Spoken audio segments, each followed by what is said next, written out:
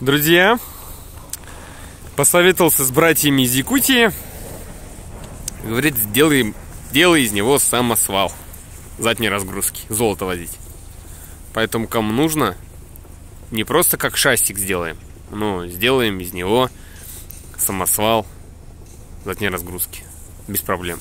Какой кузов нужен, такой поставим. Длина, как понимаю, такая же. Вот у нас же уходили 2,65-222. Длина э, межколеска все такая же, все то же самое. Удлинять ничего не нужно. Просто сюда плюсуется стоимость кузова и все.